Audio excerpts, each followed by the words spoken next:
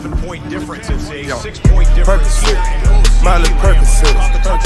Percocet. Miley Percocet.